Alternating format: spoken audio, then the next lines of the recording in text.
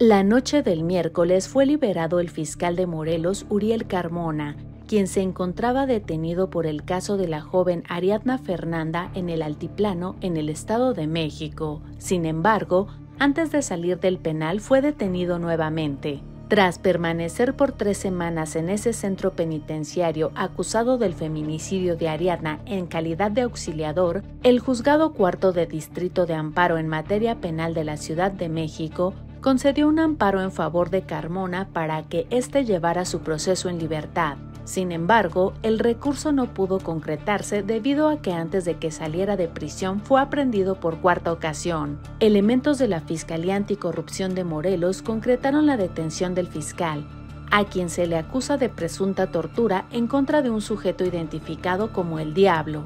a quien se le señala como responsable del homicidio de tres empleados del Instituto Nacional de Salud Pública, hecho que tuvo lugar el pasado mes de abril.